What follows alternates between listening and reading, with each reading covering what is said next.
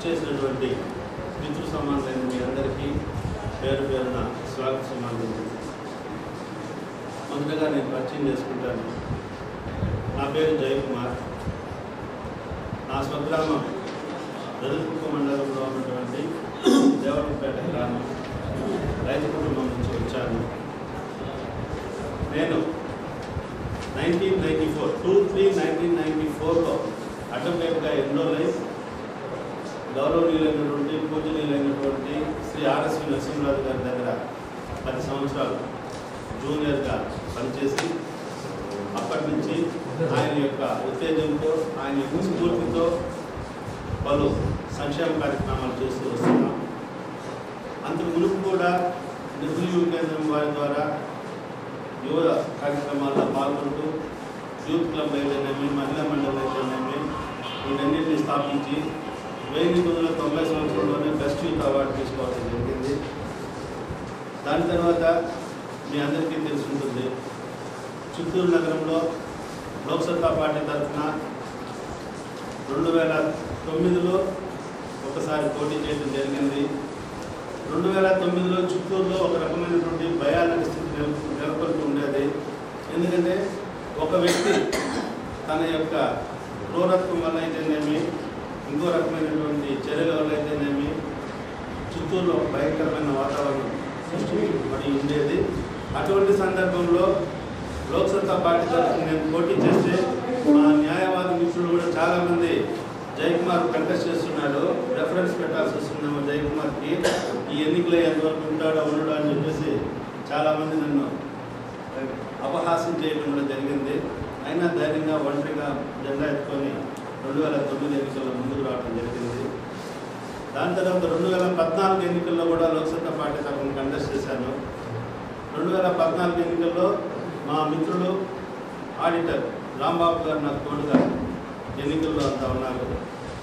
So రెండు వేల పద్నాలుగు తర్వాత నాకు ఒక ఆత్మ సంతృప్తి ఏంటంటే చిత్తూరులో ఒకప్పుడు ఉన్నటువంటి వాతావరణానికి భిన్నంగా ఇలాంటి ఎన్జిఓస్ కానీ సిప్యాక్ లాంటి ఎన్జిఓస్ కానీ ధైర్యంగా ముందుకొచ్చి ప్రజా గొంతును ఇస్తున్నాయి అని అంటే అది ఫస్ట్ మొట్టమొదటిగా లోక్సత్తా బ్యానర్ కింద నేను బయటొచ్చి నేను నిలబడిన దానివల్లనేమో తర్వాత సంఘాలన్నీ వచ్చినాయి అని చెప్పేసి నా యొక్క భావన.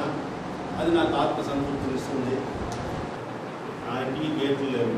మీలాగా కామన్ మ్యాన్. ఎప్పుడు ట్వంటీ ఫోర్ అవర్స్ అందరికి అందుబాటులో ఉన్నాయి ఇంకోటి ఏంటంటే ముఖ్యంగా మీ అందరికి వినియోగించుకునేది మనకు ఆరోగ్యం సరిలేకపోతే డాక్టర్ దగ్గరికి వెళ్తాము. మన పిల్లవాడికి మంచి విద్య కావాలంటే టీచర్ దగ్గరికి వెళ్తాము. శాసనసభ అంటే అక్కడేదో గ్రనైట్ వ్యాపారాలు కాదు రోడ్లు వేసే వ్యాపారాలు కాదు చట్టాలు తయారు చేసే పవిత్రమైనటువంటి శాసనసభ. చట్టాలు తయారు చేసేదానికి చట్టాలతో ఇరవై ఐదు సంవత్సరాలుగా సహవాసం చేస్తున్నటువంటి సహజీవనం చేస్తున్నటువంటి వ్యక్తి లాయర్గా నేనున్నాను. శాసనసభలో చేసేది లా మేకర్. లా మేకర్గా లాయర్ ఎన్నుకుంటే ఇంకా పటిష్టమైనటువంటి సంక్షేమానికి ప్రజా సంక్షేమానికి ఉపయోగపడే చట్టాలను తయారు చేయడానికి ఉపయోగపడుతుంది. కాబట్టి చిత్తూరు బరిలో ఉన్నటువంటి అందరి అభ్యర్థుల కన్నా నాకు విద్యార్హతలు ఉన్నాయి. అదేవిధంగా సేవా గుణం ఉంది సేవా భావం ఉంది సేవా తత్పరత ఉంది. అందరికీ ఎల్లవేళ అందుబాటులో ఉండే విషయం అందరికీ విధేయంగా కూడా ఉండే అంశంలో అలా నాలో ఉంది కాబట్టి అందరికన్నా భిన్నంగా అందరికన్నా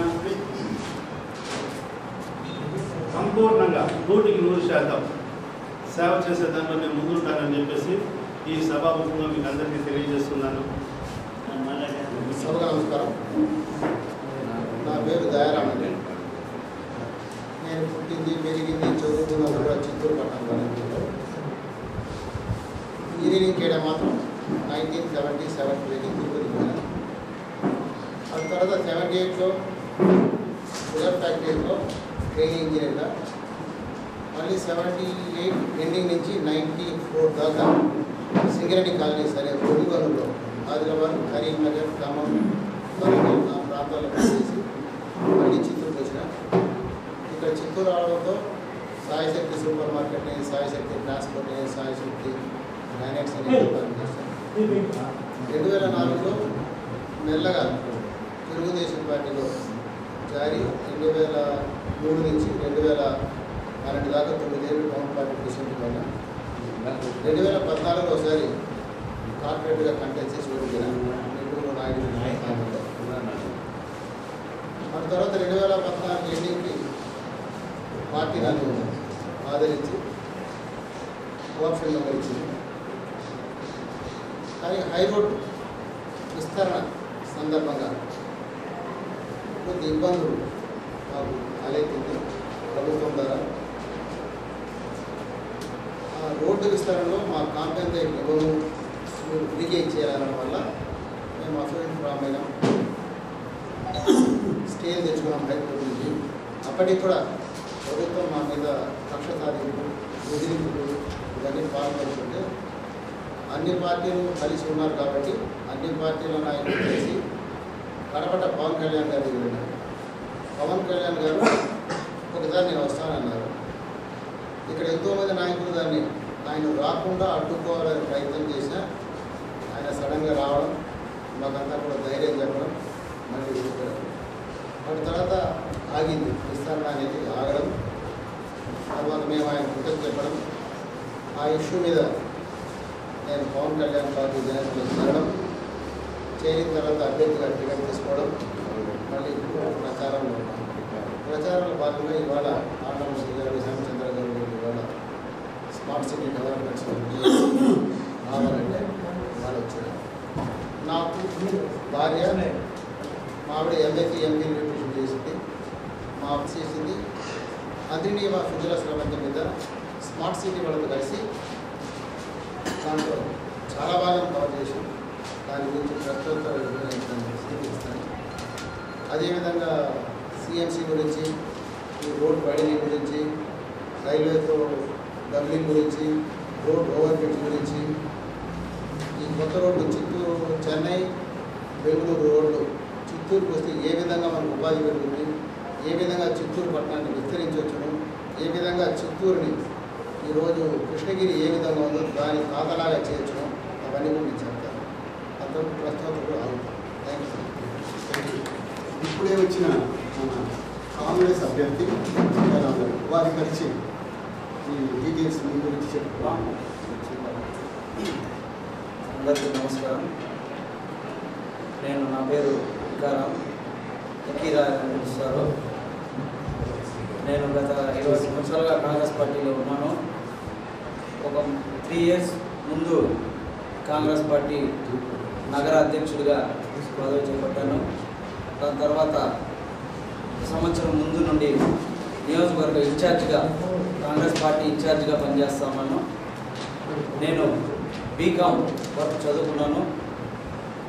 అలాగే మా కుటుంబ నేపథ్యం మా నాన్నగారు మున్సిపాలిటీలో ఒక ఎంప్లాయ్ నాది మధ్య తరగతి కుటుంబము. నాకు ఇద్దరు తమ్ముళ్ళు. ఒకరు తిరుపతిలో రియల్ ఎస్టేట్ చేస్తారు. ఒకరు ఇక్కడే జేకే సోఫాస్ అని ఇండస్ట్రీస్ని నడుపుతూ ఉంటారు. నేను మూడు సంవత్సరాలుగా ప్రత్యేక హోదా పైన అనేక సార్లు కాంగ్రెస్ పార్టీ మొదటి నుండి ఏ ఏ ఉద్యమాలు చేసిందో ఆ ఉద్యమాలన్నింటిలో కూడా పాల్పంచుకొని చిత్తూరు నుండి నా వాణిని ఇక్కడ నుండి ఢిల్లీకి కూడా పోయి మూడుసార్లు ఢిల్లీకి కూడా వెళ్ళాము. ఢిల్లీలో కూడా చిత్తూరు యొక్క వాణిని వినిపించాను. అలాగే చిత్తూరు సమస్యల మీద సమగ్ర సమస్యల మీద కొన్ని అధ్యయనం చేసి మా రాష్ట్ర నాయకత్వానికి ఇవ్వడం జరిగింది. అలాగే రాహుల్ గాంధీ గారి గారికి కూడా ఇవ్వడం జరిగింది. మొన్న తిరుపతికి వచ్చినప్పుడు ఒక మెమరాండం రూపంలో దాన్ని కూడా ఇవ్వడం జరిగింది. కాకపోతే చిత్తూరు డెవలప్మెంట్కి అందరూ చెప్తానే ఉన్నారు అరవై సంవత్సరాలుగా చిత్తూరు ఎక్కడ ఉన్నదో అలాగే ఉండిపోయిందని. అది మాత్రం నిజమే. దాంట్లో కాంగ్రెస్ కూడా సింహభాగం పరిపాలించింది. వాళ్ళు కూడా చేయలేదని కూడా నేను ఒప్పుకుంటాను దాని గురించి కూడా చెప్తాను. కాకపోతే మన చిత్తూరు ఎందుకు వెనుకబడింది లేదని నేను చెప్పాలంటే మనకు తిరుపతి డామినేషన్ చేస్తూ ఉంటుంది. ప్రతి ఒక్క జిల్లా కేంద్రమైనా కూడా ప్రతి ఒక్క హెడ్ ఆఫీస్ కానీ ఒక కంపెనీల హెడ్ ఆఫీస్ కానీ విద్యా సంస్థలు కానీ ఏది తీసుకున్నా యూనివర్సిటీలు తీసుకున్నా హాస్పిటల్ తీసుకున్నా రోడ్లు తీసుకున్నా రైల్వే స్టేషన్లు తీసుకున్నా మొత్తం తీసుకోపోయి తిరుపతికి కేటాయిస్తూ ఉన్నారు. మొత్తం నిధులంతా కూడా అభివృద్ధి అంతా కూడా తిరుపతి కేంద్రీకృతమైంది. చిత్తూరుని ఎవరు కూడా పట్టించుకోలేదు. చిత్తూరు జిల్లా నుండి చిత్తూరు కేంద్రంగా ఉండి చిత్తూరు జిల్లా నుండి ఇద్దరు ముఖ్యమంత్రులు అయినారు ఒక ఆయన లాస్ట్ టైం తొమ్మిది సంవత్సరాలు చేసినాడు ఈసారి ఐదు సంవత్సరాలు చేస్తున్నాడు. అలాగే కాంగ్రెస్ పార్టీ నుండి మూడు సంవత్సరాలు కిరణ్ కుమార్ రెడ్డి గారు పనిచేశారు. కానీ వాళ్ళ వాళ్ళ నియోజకవర్గాన్ని అభివృద్ధి చేసుకున్నారు కానీ చిత్తూరు అభివృద్ధికి ఏమాత్రం కూడా ఎవరు కూడా సహకరించలేదు చేయలేదని నేను కూడా చెప్తా ఉన్నాను. ముఖ్యంగా నేను చెప్పదలుచుకుంది ఈ Chittoor smart city development society తరఫున ప్రజలు చిత్తూరు నగరం ఇప్పుడు మనం ఎందుకు ఇది షూట్ చేస్తున్నాం? ప్రతి చిత్తూరులో ప్రతి ఇంటికి కూడా మనం దీన్ని వినిపించాలన్నది మన అభిప్రాయం. ఈ ఈ నగరం ఎందుకు డెవలప్ కాలేదు అనే దానిపైన చాలా మీటింగ్లు వేసుకొని ఈ ఈ ఈ నగరంలో ఉండే సమస్యల్ని మనం క్షుణ్ణంగా క్లుప్తంగా వివరించడం జరిగింది. ముఖ్యంగా తీసుకుంటే ఈ ఊర్లో సమస్యలు అనేది ప్రతిదానికి కూడా వాటర్ అనేది ఇంపార్టెంట్ సమస్య. ఆ వాటర్కి లింక్ వచ్చి ఫారెస్ట్ డిపార్ట్మెంట్ వాడు ప్రతి సంవత్సరం పది లక్షల మొక్కలు వేస్తాడు. ఒక వెయ్యి మొక్కలు కూడా బతకవు. నీరు లేదు అదేవిధంగా నూట నూట ఎనభై రెండు లీటర్లు ఒక మనిషికి ఉండాలి. అప్పుడు కానీ అండర్ గ్రౌండ్ డ్రైనేజ్ రాదు. కానీ మన ఊరికి ఈవెన్ డయాలిసిస్ సెంటర్కి కూడా వాటర్ లేదు. చిత్తూరు ఒక ఇండస్ట్రీ పెట్టాలంటే వాటర్ లేదు. సో ఇక్కడ ఇప్పుడు ఏమైందంటే ప్రతిదానికి వాటర్ చాలా ఇంపార్టెంట్ అయిపోయింది కాబట్టి ప్రజల్లోనే చైతన్యం లేదు. ప్రజల్లో ఎందుకు చైతన్యం లేదంటే ఈ రోజు నాకు ఒక బిందె నీళ్ళు వస్తే నేను తృప్తి చెందుతున్నాను. నీళ్ళు ఉందా బాగా చిత్తూరు అంటే ఉంది అంటున్నాం అదే చెన్నై తీసుకోండి. కరుణానిధి పీరియడ్లోనే వాళ్ళు ఈ సంవత్సరం మనకి ఎంత కావాలి చెన్నైకి? నెక్స్ట్ ఇయర్ ఎంత కావాలి? రెండు వేల ఇరవై రెండు వరకు వాళ్ళు ప్లాన్ చేసుకొని ఎన్టీ రామారావు దగ్గరికి వెళ్ళి ఒక అగ్రిమెంట్ చేసుకొని తెలుగు గంగని తెప్పించుకున్నారు. ఆ తెలుగు గంగ ఎలా వెళ్తుంది చెన్నైకి? మన చిత్తూరు పైనే పోతుంది. కానీ అదే చిత్తూరు జిల్లా కేంద్రం కాబట్టి చిత్తూరు జిల్లాకి మనం ఆ నీళ్ళని మనకు తెప్పించుకోలేకపోయాం. ఎవరో తమిళనాడు వాళ్ళు ఆ చీఫ్ మినిస్టర్ తెలుగు నీళ్ళు ఇరవై ఏళ్ళుగా వాళ్ళు ఎంజాయ్ చేస్తున్నారు. మనం చిత్తూరు జిల్లా కేంద్రంగా కూడా మనం ఇక్కడ తెచ్చుకోలేకపోయాం ఎందుకంటే మన లీడర్స్ కాబట్టి మొదటి సమస్య కేవలం ఏ పెన్షన్ అనో లేకపోతే ఏదో ఇచ్చేసినామనో అడిగినప్పుడు ఒక ట్యాంకర్ నీళ్ళు ఇచ్చేసినాము నాకు ఓటేయడము దీనికే పరిమితం అయిపోయినారు మన లీడర్కి ఇకపోతే టాప్ లీడర్ల గురించి రెండు మాటలు చెప్తాను. సపోజ్ చంద్రబాబు నాయుడు గారు అనుకున్నాం నాకు ఈరోజు కూడా గుర్తుంది నేను మన అప్పట్లో దయారాం గారు పదేళ్ళు తెలుగుదేశంలో ఉన్నారు. వారితో కూడా మేము వెళ్ళాము. అపాయింట్మెంట్ మాకు కేవలం రెండు సార్లు దొరికిందండి. ఆ దొరికిన అపాయింట్మెంట్ కూడా చిత్తూరు లీడర్ల ద్వారా మాకు దొరకలేదు. అపాయింట్మెంట్. కుప్పం రిప్రజెంటేటివ్ గౌరీ వారి శ్రీనివాస్ ఆయన ద్వారా మాకు అపాయింట్మెంట్ దొరికింది. అన్నిసార్లు చంద్రబాబు నాయుడు గారు చిత్తూరుకి వచ్చారు. ఇది జిల్లా కేంద్రం కాదా? మన ఇందాక రాయ్ ఆయన కాంగ్రెస్ క్యాండిడేట్ చెప్పినట్లు కిరణ్ కుమార్ రెడ్డి చీఫ్ మినిస్టర్ ఉన్నాడు చంద్రబాబు నాయుడు గారు ఉన్నారు. ఇద్దరూ మన చిత్తూరు వాళ్ళే. కానీ ఈ జిల్లా కేంద్రాన్ని గురించి ఎవరు పట్టించుకోలేదు. కాబట్టి ఈ మొదటి సమస్యనే మనం సాల్వ్ చేసేదానికి ప్రతి అభ్యర్థి ట్రై చేయాలి. సో ఇప్పుడు ఇక్కడ ఉన్న ముగ్గురే కాకుండా వాళ్ళిద్దరికి కూడా మన వాయిస్ వినిపిస్తాము. కానీ ప్రతి ఒక్కరు కూడా దీనిపైన ఏ విధంగా చేయొచ్చు? టాప్ లీడర్స్ రేపు చంద్రబాబు పరిపూర్ణ రా రూలింగ్ రాని లేదు జగన్మోహన్ రెడ్డి రూలింగ్ రాని. మనం అందరూ కూడా చిత్తూరు డెవలప్మెంట్ పైనే మనం కాన్సన్ట్రేట్ చేస్తాం. కాకపోతే వాళ్ళని మనం వాళ్ళ దగ్గరికి వెళ్ళాలంటే ఇక్కడ లీడర్లు మనకు అపాయింట్మెంట్ ఇవ్వాలి మనతో కూడా అందుబాటులోకి రావాలి. ఈరోజు ఎవరు ఏ పార్టీలో ఉన్నారో చెప్పలేము. బట్ చిత్తూరు అభివృద్ధి మన మోటు. కాబట్టి దీనికి మెంబర్లందరూ కూడా సలహాలు ఇవ్వండి సూచనలు ఇవ్వండి. స్మార్ట్ సిటీ డెవలప్మెంట్ది ఇప్పుడు మూడు సంవత్సరాలుగా పోరాడుతున్నాం దీనిపైన. నాకేమో ఒక్క అభివృద్ధి కూడా మనం చేసుకున్నట్టుగా మాత్రం కనిపించలేదు చిత్తూరులో. చిత్తూరుకి ఒక అభివృద్ధి అన్న జరిగిందా అంటే స్మార్ట్ సిటీ ద్వారా ఎక్కడైనా కానీ నేను ఈ ముప్పై తొమ్మిది సంవత్సరాలు సర్వీస్ చేశాను. క్లార్క్గా చేరి సీఈఓ చెప్పిగా రిటైర్ అయినాను అనేక క్యాడర్స్లో. ఆఫీసర్స్ స్పందన వేరేగా ఉంటే రాజకీయ నాయకుల దగ్గర నుంచి ముందు స్పందన రావాలి. రావడం లేదు. చిత్తూరు అంటేనే నెగ్లెక్ట్ ఇప్పుడే చెప్పినారు మన కాంగ్రెస్ క్యాండిడేట్ గారు అన్ని చెప్పదా చెప్పబోయినారు అప్పటికే నిలిపేశారు మన నారాయణమూర్తి గారు. ఆయన చెప్పిందంతా వాస్తవాలే. డెవలప్మెంట్ ఇప్పుడు మనకు డెబ్బై సంవత్సరాలు అయింది స్వాతంత్రం వచ్చి. వీఆర్ ఇన్ డెవలప్మెంట్ అండర్ డెవలప్మెంట్లోనే ఉన్నాం. కానీ మనం కానీ చూసినామంటే ఎంతో డెవలప్ అయినాం. మనం విలేజెస్ చూసినామంటే ఎక్కడ చూసినా మనకు అప్పుడు ఒక ఇరవై సంవత్సరాలకు ముందు పూరిన్లే ఉండేది. ఎక్కడ చూసినా. ఇప్పుడు అట్లా కాదు. ఏ విలేజ్లో చూసినా కూడా మనం ఒక్క పూరిలు కూడా మనం కనుక్కోలేము. అట్లా డెవలప్ అయింది లేదని చెప్పడం లేదు. అది వేరు. కానీ మన చిత్తూరుకి వస్తే అదేమో ఇది ఈ బార్డర్లో పడినాము వేలూరు బార్డర్లో తమిళనాడు బార్డర్లో ఎవరు కూడా దాన్ని పట్టించుకోవడం లేదు. ఒక మినిస్టర్ కానీ ఒక ఎమ్మెల్యే కానీ ఒక సీఎంలు కానీ ఎవరు కూడా దీన్ని పట్టించుకున్నటువంటి నాదిరి లేదు. చిత్తూరు డెవలప్ కావాలంటే మనకు తప్పకుండా ఇండస్ట్రీస్ వన్ నాట్ టూ పెట్టకూడదా మనకు ఎక్కడెక్కడో సత్యవేళ తీసి పెడుతున్నారు city Sri city Sri city అని. ఒక్కటే ఒక్క ఇండస్ట్రీ తెచ్చి ఇక్కడ పెట్టకూడదా? ఏమి? అమర్నాథ్ రెడ్డి గారు లేరా? ముఖ్యమంత్రి చంద్రబాబు నాయుడు లేరా? ఎమ్మెల్యేస్ పద్నాలుగు మంది. ఏం చేసినారో నాకే అర్థం కాలేదు. దయచేసి ఏం అనుకోవద్దండి మీరు క్యాండిడేట్స్ కూర్చున్నారు. మీ దృష్టికి కూడా మేము తెస్తున్నాము. అదేవిధంగానే వాళ్ళిద్దరు కూడా వచ్చి ఉంటే కాబట్టి చెప్పేవాళ్ళము. కాబట్టి ఫస్ట్ వాటర్. మొన్న ఫస్ట్లో అనుకునేది ఏమంటే మన చిత్తూరుకి వచ్చేస్తుంది హంద్రీ నీవా. వీలేరు దగ్గర జరుగుతా ఉంది అని చెప్పేసి మన దయాకర్ గారు గారు తర్వాత రాజేంద్ర గారు చాలా ఎక్స్ప్లెయిన్ నేను పోలేదు కానీ మీ సార్ వాళ్ళంతా పోయినారు అక్కడికి. వచ్చేస్తుందేమో మనకు అని చెప్పేసి అనుకున్నాం. కానీ రాలేదు. అది ఏమైందంటే ఈ మధ్యలో లాస్ట్ మంత్ చూస్తే ఆయన ముఖ్యమంత్రి గారు వచ్చారు. మన గౌరవనీయులు ముఖ్యమంత్రి గారు మదనపల్లి పొంగనూరు వచ్చారు. కుప్పంకి నీరు పోతా ఉంది. పొంగనూరు మదనపల్లి అక్కడ పూజలు చేస్తున్నారు. నీళ్ళు వచ్చేసిందని. చిత్తూరుకి రావాల్సిన నీళ్ళు పొంగనూరు మదనపల్లికి మాత్రం ఎట్లా వెళ్ళిపోయింది నాకు అర్థం కాలేదు. అది వేసింది టూ హండ్రెడ్ ఫిఫ్టీ క్రోర్స్ ఇచ్చారు మనకు కూడా. కానీ ఖర్చు పెట్టలేదు ఇక్కడికి రాలేదు. కాబట్టి దయచేసి ఫస్ట్ నీళ్ళు రావాలా ఇండస్ట్రీస్ రావాలా ఇదంతా చూస్తేనే కానీ మనకు చిత్తూరు డెవలప్మెంట్ కాదని చిన్న అవకాశం ఇచ్చిన మీకు అందరికీ కూడా ధన్యవాదాలు చిత్తూరు స్మార్ట్ సిటీ వాళ్ళు దాదాపు ఒక ఐదారు సంవత్సరాలకు పోరాడుతూనే ఉన్నారు. కానీ మన సుధాకర్ గారు చెప్పినట్టుగా ఏం డెవలప్మెంట్ కనపడడం లేదు ఎందుకంటే ఎందుకంటే ఈ రాష్ట్రానికి ముఖ్యమంత్రి చంద్రబాబు నాయుడు గారు పద్నాలుగు ఏడు అంతకుముందు తొమ్మిది ఏళ్ళు ఇప్పుడు పద్నాలుగు ఏళ్ళు ఉన్నాడు కానీ. ఇవాళ అందరు రాజకీయ పార్టీలు మనం చేస్తున్నా ఒకటి ఎవరు కానీ గవర్నమెంట్లో ప్రజ సంక్షేమాన్ని గురించి ఏది కాకుండా నిర్భయంగా గవర్నమెంట్కి తెలపాలి. అది ఈ రాజకీయ నాయకులు ఎవరు కూడా చంద్రబాబు కూడా చెప్పడం లేదు రాజకీయ నాయకులు బీజేపీ నాయకులు కూడా వాళ్ళ నాయకులు తెలపడం ఎందుకంటే బాగా మాకు అర్థమైంది రైతులు ఎందుకంటే గతంలో చూడండి నాలుగు రూపాయలు మామిడికాయల ధర అమ్మితే కానీ కనీసం కూరగాయ ధర ఇరవై ఐదు రూపాయలు అమ్ముతాను. సంవత్సరం పంట మామిడికాయలు. అది ఒక సంవత్సరం పండుతుంది ఒక సంవత్సరం పండదు. ఆ పండినప్పుడు కూడా ఇరవై రూపాయలు కేజీ అమ్మాల్సిన కా- కాయల్ని సిండికేట్ అయి నాలుగు రూపాయలు అమ్మితే కూడా దాన్ని ప్రభుత్వం పట్టించుకోలేదు.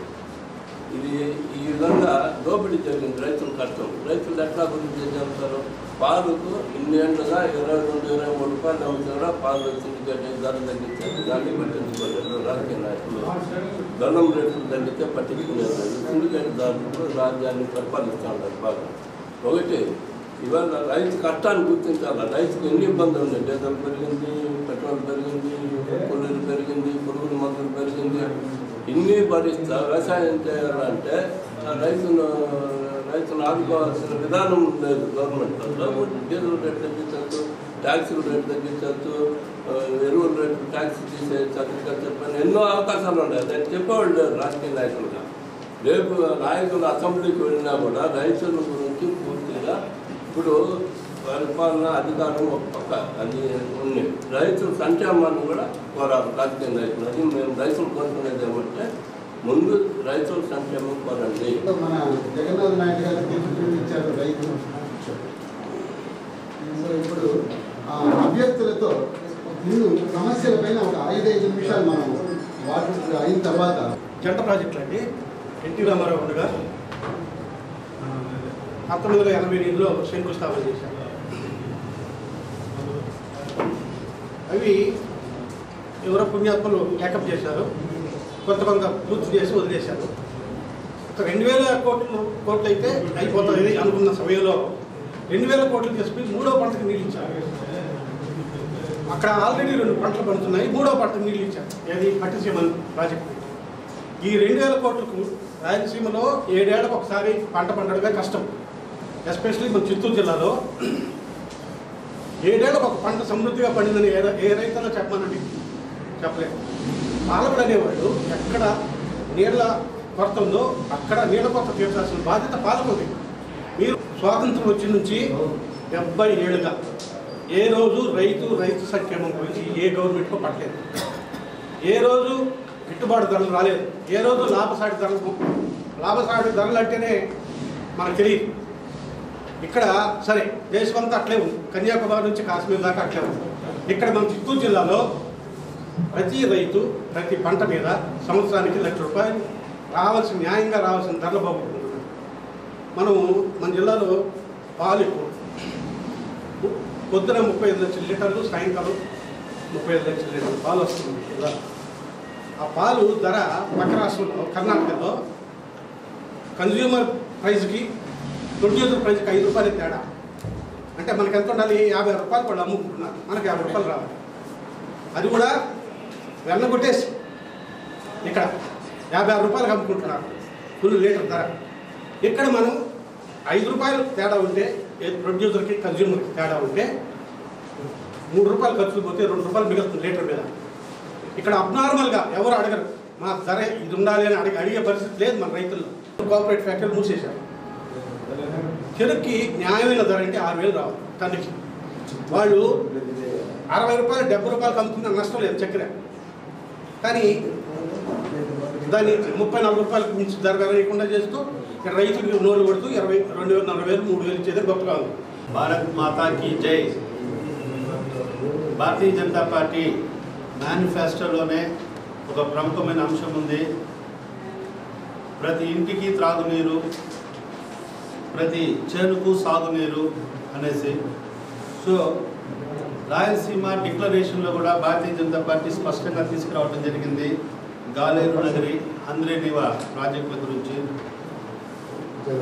మనందరికీ తెలిసిన విషయమే గతంలో తెలుగంగ ప్రాజెక్టు వయా చిత్తూరు మీద పోవాల్సిన దాన్ని ఇక్కడ ఎన్నుకోబడిన ప్రజాప్రతినిధుల అసమర్థత కారణంగానే అలా వెళ్ళిపోవాల్సి వచ్చింది.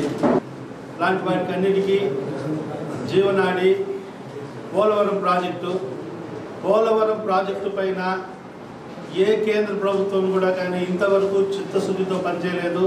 కేవలం భారతీయ జనతా పార్టీ మాత్రమే చిత్తశుద్ధితో పోలవరం ప్రాజెక్టు తొందరగా సత్వరంగా పూర్తి చేసి ఆంధ్ర రాష్ట్ర ప్రజలకి ఈ శాశ్వత నీటి సమస్య తొలగించాలనే ఉద్దేశంతో శరవేగంగా చిత్తశుద్ధితో పనిచేస్తుంది. కాబట్టి దురదృష్టవశాత్తు ఏంటంటే భారతీయ జనతా పార్టీ స్థానిక రాష్ట్ర స్థానికంగా ఉన్నటువంటి తెలుగుదేశం పార్టీకి పనిచేసేదానికి బాధ్యతలు అప్పగించిన తర్వాత వారు సక్రమంగా పనిచేయకుండా ఇంకా మనకి నీటి కష్టాలు తీసుకురావడం జరిగింది. కాబట్టి భారతీయ జనతా పార్టీ పోలవరం ప్రాజెక్టు ద్వారా సత్వరంగా నీటి సమస్య రాష్ట్రంలో లేకుండా చేసేదానికి కృషి చేస్తుంది. అంతేకాకుండా అందరికీ తెలుసు ఈ స్మార్ట్ సిటీ వాళ్ళకి కూడా తెలుసు. అమృత్ పథకం కింద రెండు వందల యాభై కోట్ల రూపాయలు మన చిత్తూరు నగరానికి కేటాయించడం జరిగింది. రెండు వందల యాభై కోట్ల రూపాయలతో తాగునీటికి భారతీయ జనతా పార్టీ ప్రభుత్వం కేటాయిస్తే ఇంతవరకు దాన్ని ఇంప్లిమెంట్ చేసుకోలేదు. ఇక్కడ ఉన్నటువంటి మీ అందరికీ ఒక విషయం చెప్పదలుచుకున్నాను. ఇక్కడ ఉన్నటువంటి వేదిక మీద ఉన్నటువంటి కొందరు మిత్రులతో కలిసి చిత్తూరు చెరువులో పిఓపి వినాయక విగ్రహాలు వేయకూడదు. నీరు కలుషిపోతుందని చెప్పేసి మేమంటే అప్పుడు మీరు మీ చేత ఎన్నుకోబడిన గతంలో ఉన్న ఎమ్మెల్యే ఏం చెప్పిందంటే ఆ నీళ్ళు తీసేసి నేను ట్యాంకర్లతో నీళ్ళు పోస్తాను అని చెప్పన్నారు. సో అటువంటి వారిని ఎన్నుకుంటున్నాం మనం. ఏమి చెరువుకి ట్యాంకర్ల ద్వారా నీళ్ళు సప్లై చేస్తాము అనే వాళ్ళని ఎన్నుకున్నాము. అట్లాంటి వాళ్ళకి ఓట్లు వేస్తున్నాము వాళ్ళ వెంబడే పరిగెడుతున్నాము సో ఇది వాళ్ళ తప్పు కాదు. మన తప్పే మనమే ఓట్లు వేసి అట్లాంటి వాళ్ళకి అవకాశాలు ఇస్తున్నాం. దాని తర్వాత ఉన్న నీటిని కూడా డ్రై చేశారు. ఇక్కడ ఏంటంటే చిత్తూరులో ఉన్నటువంటి రాజకీయ నాయకులకి ఒక జాడ్యం ఉంది. చిత్తూరు నగరంలో నీటిని ఆసరా చేసుకొని ప్రభుత్వ ధనాన్ని లక్షల రూపాయలు కోట్ల రూపాయలు సోహా చేయొచ్చు. మీకంతా తెలిసి ఉంటుంది గతంలో ఈ ప్రభుత్వం ఏర్పడిన కొత్తలో ట్యాంకర్ల ద్వారా నీటి సరఫరా అని చెప్పేసి ఒక ప్రాజెక్ట్ పెట్టారు. ఒక్కొక్క ఏరియాకి ఒక్కొక్క కార్పొరేటరు ట్యాంకర్ల ద్వారా నీటి సరఫరా. పది ట్రాక్టర్లు సప్లై చేస్తారు వంద ట్రాక్టర్లకు బిల్లు పెడతారు. సో ఇక్కడ అవినీతి ప్రజాధనం దుర్వినియోగం. ఇదంతా ఏంటంటే వాళ్ళకు ఒక ఉపాధి. ప్రజలు కష్టాలు పడితే మనకే ఉంది ట్రాక్టర్ దగ్గర బిందులు ఎత్తుకొని కొట్టుకుంటే మనకే ఉంది మన కార్యకర్త జోబులకు డబ్బులు వస్తుంది మన జెండా పడతాడు మనకు ఓట్లు తెస్తాడు. అదే కాన్సెప్ట్ ఉన్నారు తప్ప ముఖ్యంగా చిత్తూరు వాసులందరికీ నా రిక్వెస్ట్ ఒకటే భారతీయ జనతా పార్టీ ప్రతి ఇంటికి త్రాగునీరు పరిశుభ్రమైనటువంటి డ్రింకింగ్ వాటర్ని ప్యూరిఫైడ్ డ్రింకింగ్ వాటర్ని అందించేందుకు సిద్ధంగా కట్టుబడి ఉంది. కాబట్టి చిత్తూరు వాసులంతా త్రాగునీరు సమస్యను లేకుండా పోవాలంటే కేవలం భారతీయ జనతా పార్టీ మాత్రమే చేస్తుంది కాబట్టి భారతీయ జనతా పార్టీని మీరందరూ మద్దతు ఇవ్వాలని చెప్పి రిక్వెస్ట్ చేస్తున్నాం. అదేవిధంగా సాగునీరు కూడా. ఎందుకంటే రాయలసీమ డిక్లరేషన్లో ఉంది. కోస్తా జిల్లాల్లో ప్రభుత్వమే డ్యాములు కట్టి ప్రతి పొలానికి నీళ్ళు వదులుతుంది. కానీ రాయలసీమ జిల్లాలో అలాంటి పరిస్థితి లేదు. సో ఇక్కడ కూడా ప్రతి పొలానికి సాగునీరు అందించాలి. ప్రతి పొలానికి సాగునీరు అందించాలి. ప్రతి చేతికి పని అందించాలి అనేది భారతీయ జనతా పార్టీ మూల సిద్ధాంతము. కాబట్టి ఈ నీటి సమస్యను తీర్చగలిగినటువంటి ఏకైక పార్టీ రాబో ఎన్నికల్లో కూడా నరేంద్ర మోడీ గారు మూడు వందల పైచిలుగు స్థానాల్లో ప్రధానమంత్రిగా అక్కడ నిలు కూర్చుంటారు. ఇక్కడ స్థానికంగా కూడా కానీ భారతీయ జనతా పార్టీ ఉంటే చిత్తూరు నగరానికి శాశ్వతంగా నీటి సమస్య తొలుగుతుంది. మీకు నీటి సమస్య తీరాలి అంటే కమలానికి ఓటేయాల్సిందిగా నేను రిక్వెస్ట్ చేస్తున్నాను. క్యాండిడేట్స్ కూడా ఉంటారు కానీ ఒకే ఒక క్యాండిడేట్ మాత్రం వెళ్ళగలరు. వాళ్ళు అసెంబ్లీలో చిత్తూరు గురించి ముఖ్యంగా చేయాల్సింది ఏమంటే ఇప్పుడు చిత్తూరుకు ఎవరైనా కొత్త వాళ్ళు వచ్చినారంటే రాత్రి ఏదో బాంబింగ్ జరిగినట్టు ఉంటుంది. ఏమనంటే? బస్టాండ్ స్టాండ్ కొట్టేసినారు గాంధీ బొమ్మను కొట్టేసినారు రోడ్లంతా కొట్టేసినారు అంత డెబ్రిస్ అది క్లీన్ సిటీ అని దీనికి అవార్డు కూడా వచ్చేసినారు చిత్తూరుకి. కాబట్టి ఈ స్టాచ్యూలు పెట్టడము బిల్డింగ్లు కొట్టేయడము ఇవి చేస్తున్నారని కానీ ఆ కాన్సన్ట్రేషన్ వాటరు పైప్ లైన్ మీద తీసుకోవాలని మీరు చట్టసభల్లో ముఖ్యంగా దాని గురించి మాట్లాడాలి ఇంతే వేరేం లేదు. చిత్తూరుకు నీటి గురించి చాలా ఏళ్ళుగా స్మార్ట్ సిటీ మిత్రులతో కలిసి చాలాసార్లు కాలువ వెంబడి చిత్తూరు జిల్లా కడప జిల్లా కర్నూలు జిల్లా కూడా తిరిగి వచ్చినాం. కాలువ వెంబడి తిరిగినాం. చిత్తూరుకి ఇవాళ నీళ్ళు లేదంటే దానికి ప్రధానమైన కారణం ఇద్దరు. మొట్టమొదటి వాళ్ళు ప్రజలు రెండవ వాళ్ళు లోకల్ ప్రజాప్రతినిధులు. నీళ్ళు అబండెంట్గా ఉంది. చట్టంలో విభజన బిల్లులో స్పష్టంగా ఉంది. అంద్రీనవ సృజల స్రవంతికి నలభై టీఎంసీలు విభజన బిల్లులో ఉన్నది. మొదటి ఫేస్కు పద్నాలుగు టీఎంసీలు రెండవ ఫేస్కి ఇరవై ఆరు టీఎంసీలు అలొకేషన్ ఉన్నది. మొదటి ఫేజ్ పద్నాలుగు టీఎంసీల నీళ్ళు రెండు వేల పన్నెండుకే గౌరవ అప్పటి ముఖ్యమంత్రి నల్లారి కిరణ్ కుమార్ రెడ్డి గారు అనంతపూర్ జిల్లా దాకా నీళ్ళు తీసుకొచ్చి జాతికి అంకితం చేశారు. ఇంకా రెండవ ఫేజ్లో ఈ ఇరవై ఆరు టీఎంసీలు తెచ్చుకోవడంలో మనం విఫలమైనాం చిత్తూరు జిల్లా రాజకీయ నాయకులు చిత్తూరు జిల్లా నాయకులు చిత్తూరు జిల్లా ప్రజలు కూడా. ఈ సందర్భంలో ఒక మాట అనలేము నేను. రాజకీయ నాయకుడే కావచ్చు అన్ని పార్టీల్లో పనిచేయ ఉండొచ్చు. కానీ డబ్బుకు అమ్ముడు పోతే ఐదు వందలు వెయ్యి రూపాయలు మీరు తీసుకుని ఓటు వేస్తే చిత్తూరు డెవలప్ కాదు. చిత్తూరుకి నీళ్ళు రాదు. అది మాత్రం గుర్తుపెట్టుకోండి. రెండు వేల పద్నాలుగు సంవత్సరం. కాలువలన్నీ హంద్రినీయవా Sujala Sravanthi కాలువలన్నీ eighty five to ninety percent అయిపోయింది. చిత్తూరుకు వచ్చే Neeva branch canal ninety eight percent complete అయిపోయింది. ఆ రోజు పరిస్థితి ఇప్పుడు కుప్పం వెళ్ళే కాలువ అంటే పొంగనూరు మదన ప- నుంచి కుప్పంకి కాలువే లేదు. అటువంటిది ముఖ్యమంత్రి గారు ఈ నాలుగేళ్ళలో ఫలమనే నుంచి కుప్పం దాకా కాలువ తువ్వి నీళ్ళు ఇప్పించుకున్నారు. వెరేస్ చిత్తూరు పట్టణానికి ఆల్రెడీ నీవా బ్రాంచ్ కెనాల్ ఉంది. నైంటీ ఎయిట్ పర్సెంట్ కంప్లీట్ అయినా మనం తీసుకురాలేకపోయినాం ఆ నీటికి ఈ నీటికి సంబంధమే లేదు. ఉంగనూరు బ్రాంచ్ కెనాలే కుప్పం బ్రాంచ్ కెనాల్. ఎక్స్టెండ్ చేశారు. ఆ కుప్పం బ్రాంచ్ కెనాల్ ఎక్కడో అనంతపూర్లో. పుట్టపర్తి తర్వాత చీరిపోయింది మనకు రాదు. మనకు కేవీపల్లి మండలంలో అడవిపల్లి రిజర్వాయర్ ఉంది. దాని capacity one point eight TMC. దాని నుంచి నీవా బ్రాంచ్ కెనాల్ చిత్తూరు మండలానికి వస్తుంది. ఆ నీళ్ళు మన ఎన్టీఆర్ జలాశయాన్ని కలపలేదు. మనకు ప్రధానమైన నీటి వనరు ఎన్టీఆర్ జలాశయం. దాన్ని కలపలేదు. దానికి వచ్చే రెండు ట్రిబ్యూటరీస్ ఒకటి పూతలపట్టి మీద వచ్చే గుడ్డవంక ఇటు కాణిపాకం మీద నుంచి వచ్చే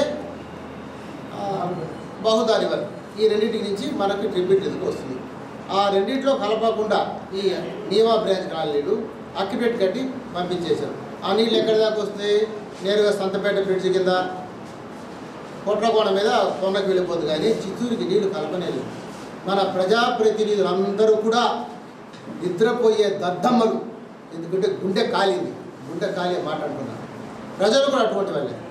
అంటే ఐదు వందలు వెయ్యి ఇస్తే ఇంటింటికి తిరిగి డబ్బు తీసుకుంటారా? సిగ్గు లేదా? నీళ్ళు లేదు. సీఎంసీలు వచ్చిన సీఎం తరిమేశారు. ఫ్యాక్టరీలు తెరవలేదు.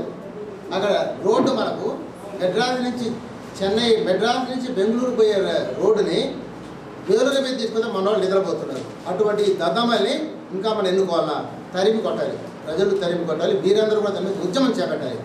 ఈరోజు నీళ్ళు రాదా?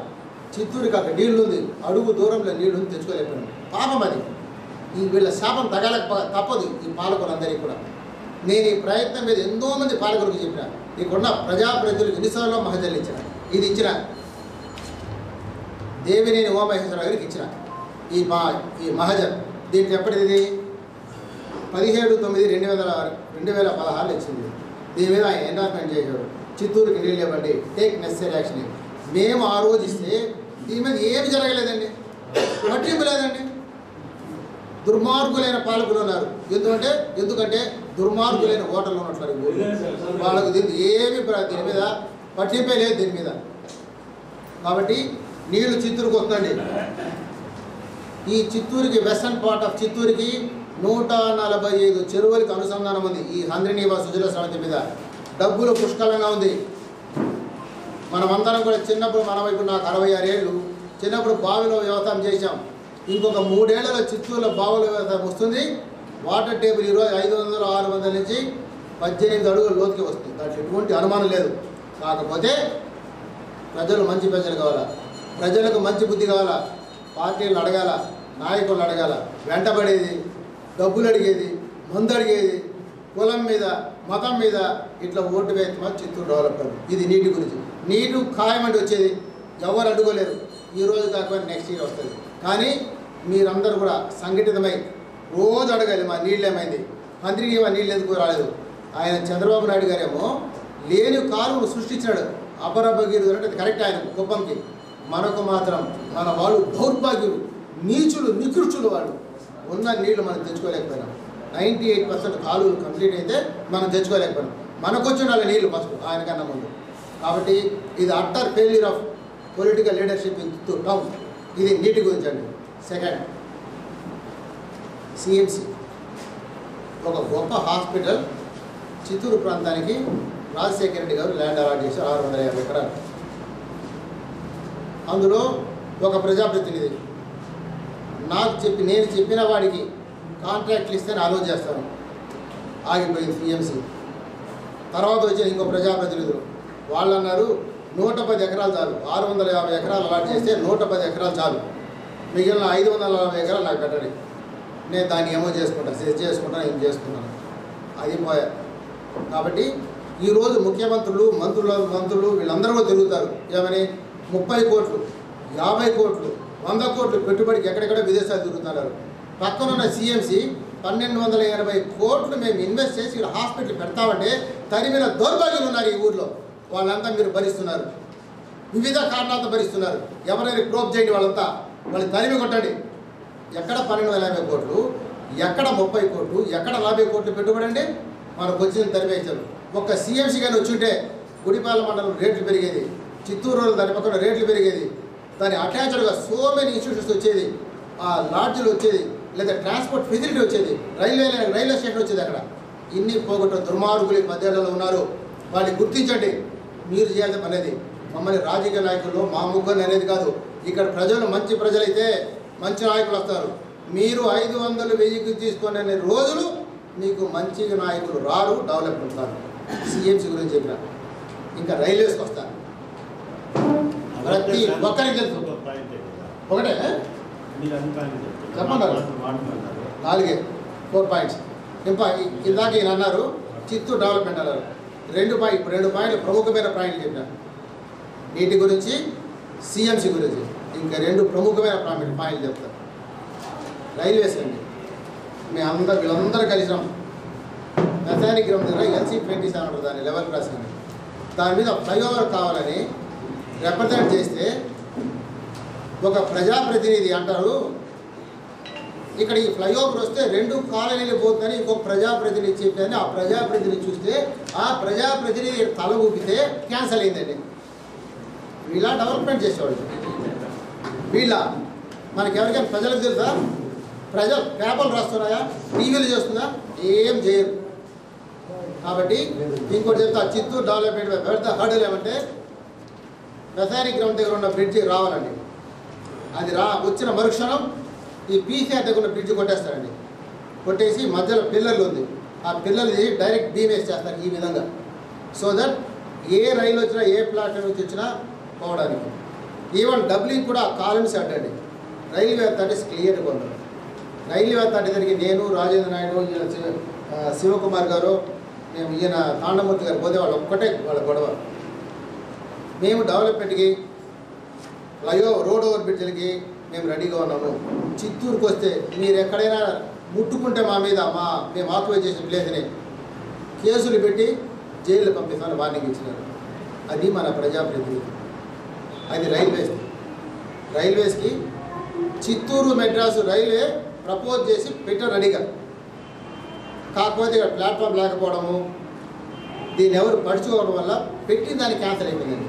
అందరి కోరిక చిత్తూరు మెడ్రాస్ ట్రైన్ ఉండాలి? కాట్పాడులో పెట్టలేరు ప్లాట్ఫామ్ లేదు అక్కడ.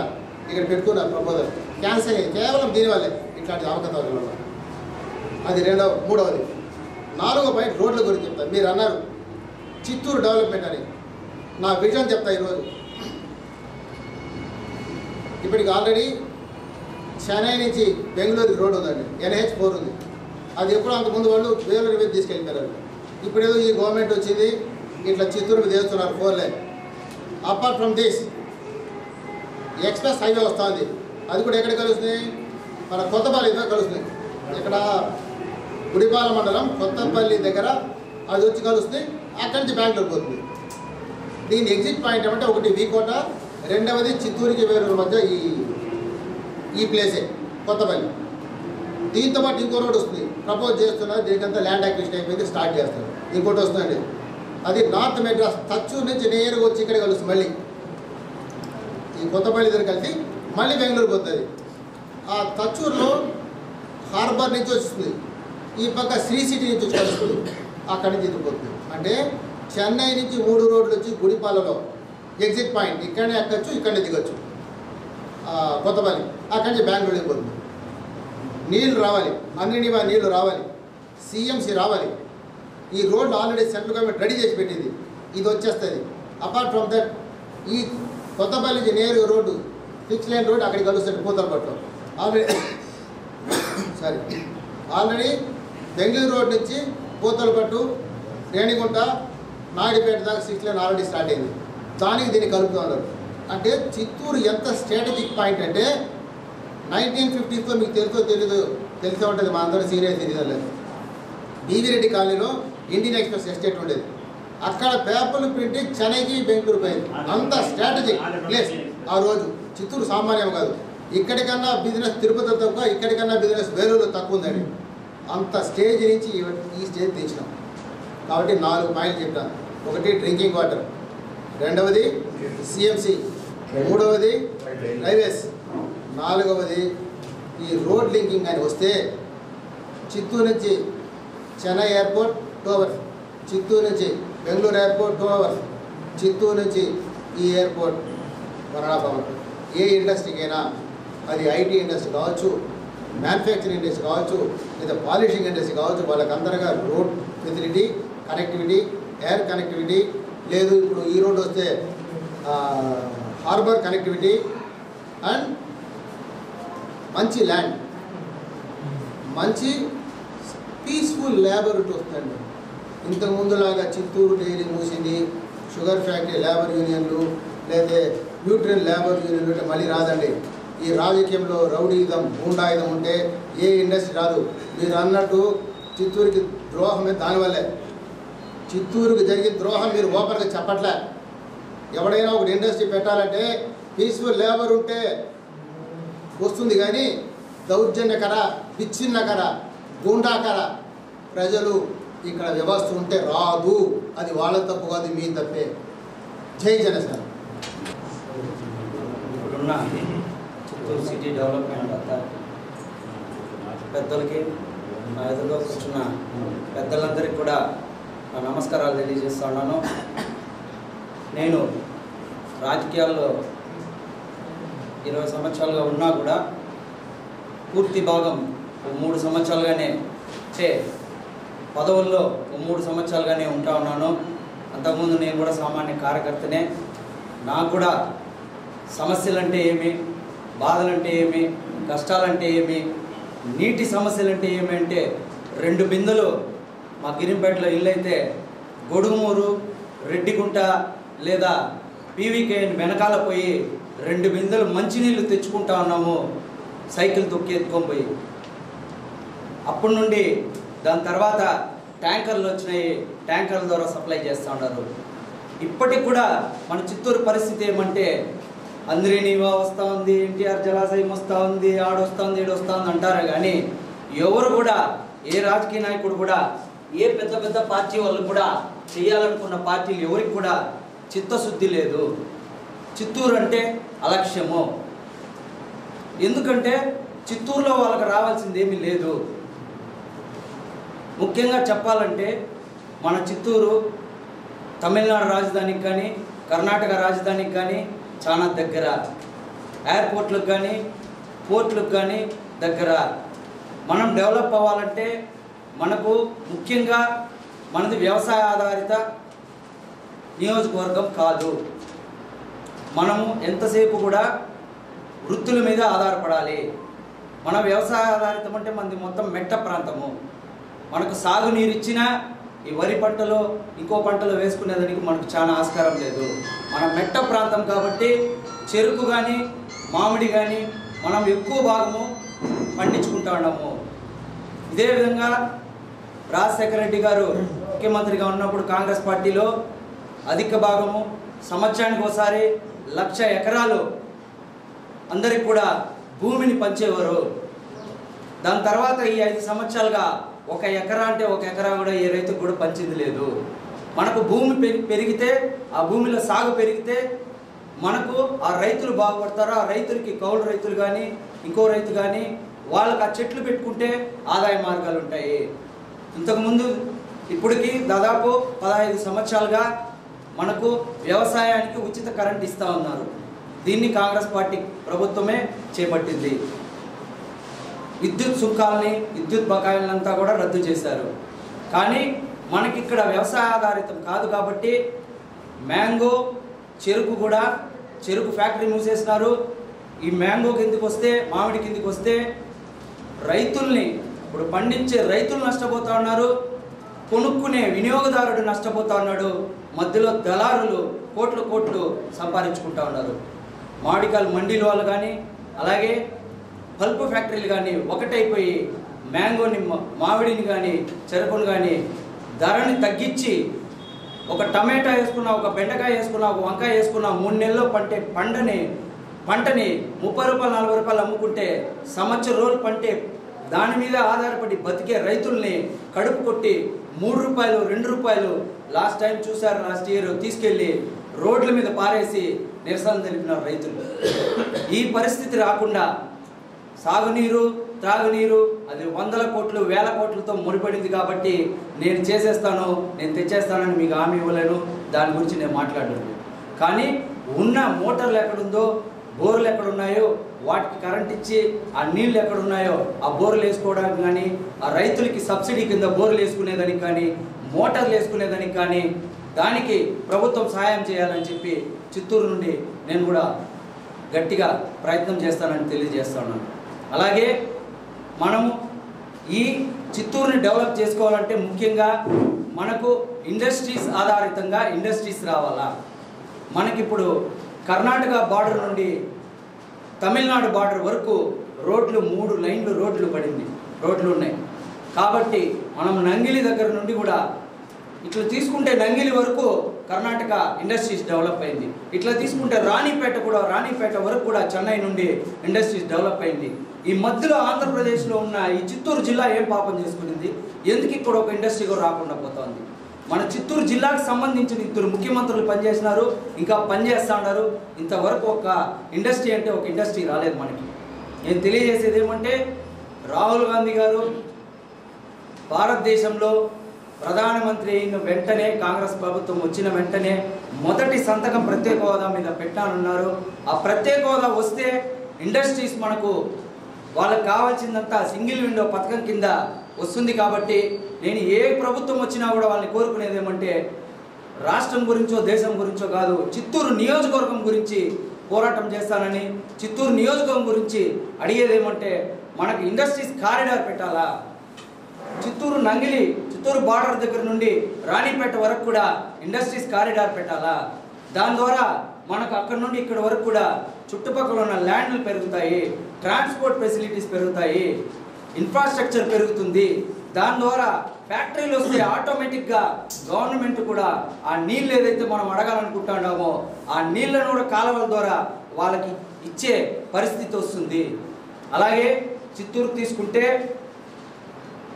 సిఎంసి వచ్చింది ఆగిపోయింది. అమర్ రాజా ప్రభు ఫ్యాక్టరీ వచ్చింది నడుస్తూ ఉంది. ఇక్కడ అపోలో మెడికల్ కాలేజ్ నడుస్తూ ఉంది.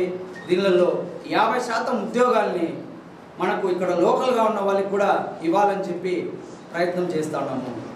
అలాగే ఇది తీసుకుంటే మనకు చిత్తూరు నుండి తిరుపతి వరకు ఎటువంటి యూనివర్సిటీలు మనకు లేవు.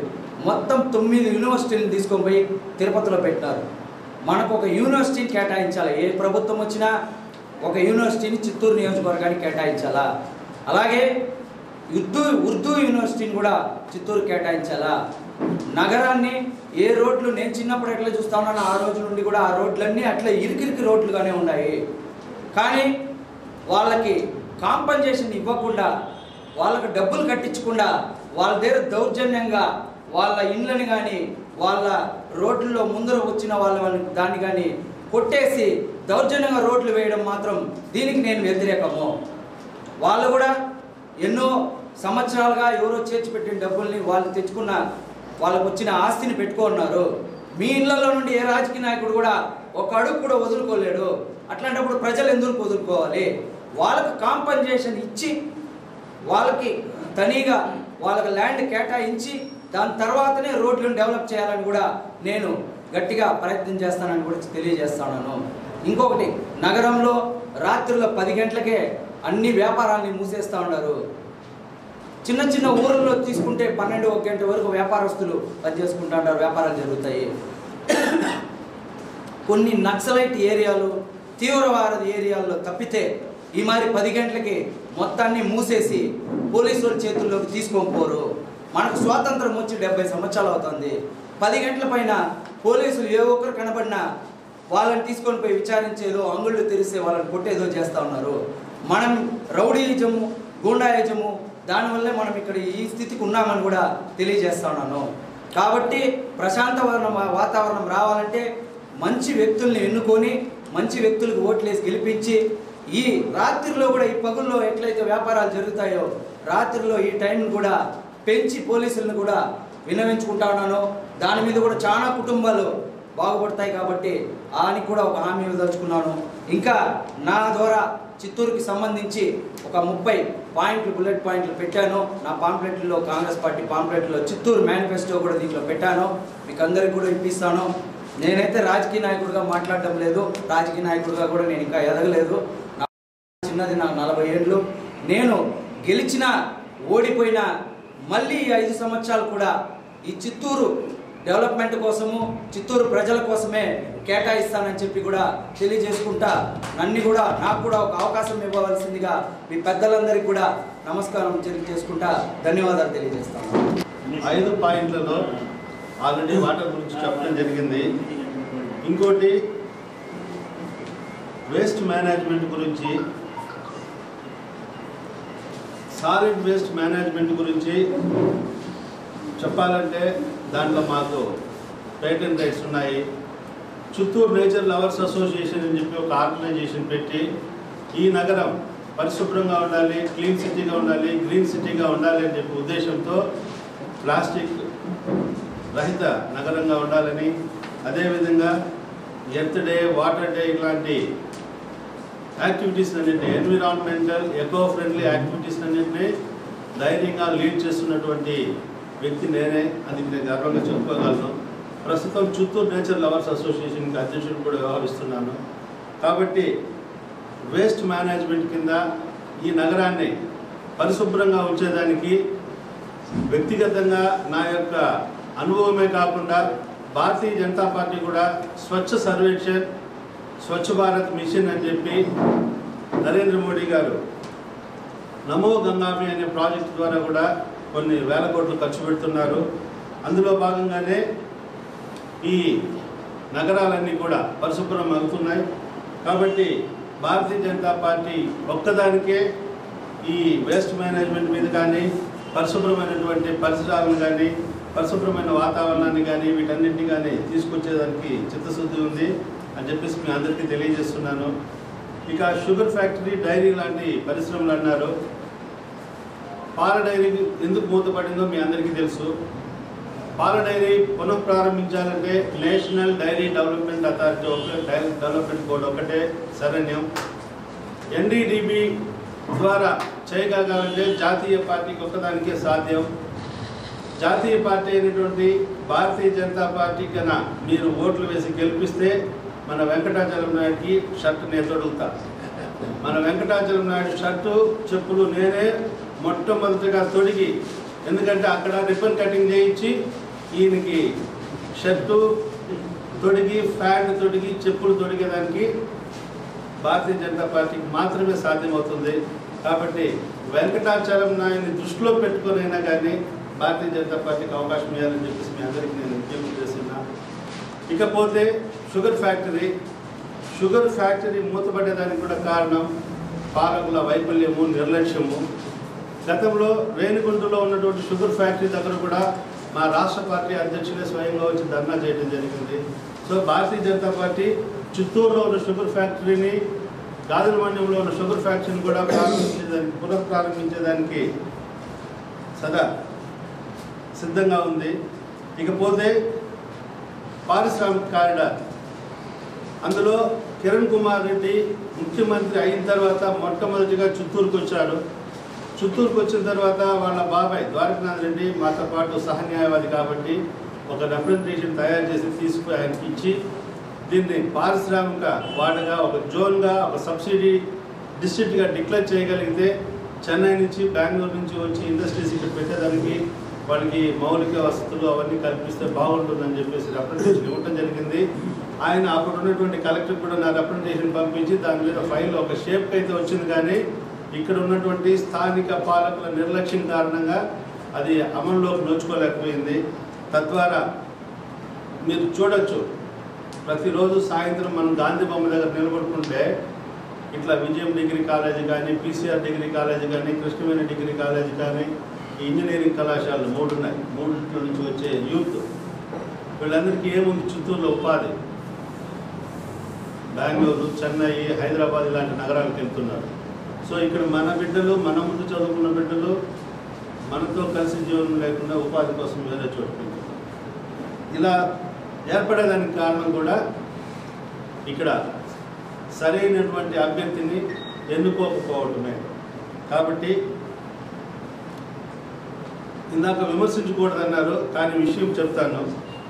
ఒక వ్యక్తి మీ ఓటు ద్వారా పదవి పొంది ఒక పార్టీ ద్వారా ఎన్నికయ్యి పార్లమెంట్లో ఇంకొక పార్టీకి ఓటేసిన దానివల్ల శ్రీని ఫుడ్స్ వచ్చింది. నలభై ఐదు కోట్లు సబ్సిడీ ఐదు వందల ఎకరాల భూమి. మీ యొక్క ఓటు యొక్క విలువ చూడండి. ఒక వ్యక్తి ఓటుకి ఆ ఓటు ఆ వ్యక్తి పార్లమెంట్లో ఉపయోగించుకొని సౌత్ ఇండియాకంతా ఆగ్రో పార్క్ అనేసి ఒక పార్క్ వస్తే ఆగ్రో పార్క్ ద్వారా సౌత్ ఇండియాలో ఏర్పాటు చేస్తే మన చిత్తూరు జిల్లాలో మోగిలి దగ్గర మనం చూస్తున్నాం. అందులో వారు ఏం చేస్తున్నారంటే దాన్ని మళ్ళీ సబ్లీజులకి ఇచ్చి రకరకాలుగా చేస్తున్నారు. సో ఇక్కడండి మన ప్రజాధనమే నలభై ఐదు కోట్లు సబ్సిడీ రూపంలో వాళ్ళకి పోయింది. మనకు నివాసం ఉండేదానికి ఒక నూరు గజాల స్థలం ఇమ్మంటే ఒక జస్ట్ ముప్పై ముప్పై అడుగులు ఇమ్మంటే వంద వెయ్యి గజ వెయ్యి అడుగులు ఇమ్మంటేనే మనం ఎన్నిసార్లు తిరగానే ఎంఆర్ ఆఫీస్ చుట్టూ తెలుస్తుంది. రెండు ఎకరాలు మూడు ఎకరాలు పైరు చేసుకుంటాం. ఇవ్వండి అంటేనే కానీ వాళ్ళకి మాత్రం ఐదు వందల ఎకరాలు. ఇటువైపు చూస్తే బెంగళూరు రోడ్ నుంచి ఇంకొక ఆమె ఉంది. ఆమెకి ఎక్కడ చూసినా ఎకరాలు ఎకరాలు కొంచెం భూములు. వాళ్ళు ఒకే సామాజిక వర్గానికి అక్కడ ఉద్యోగాలు. చూడండి.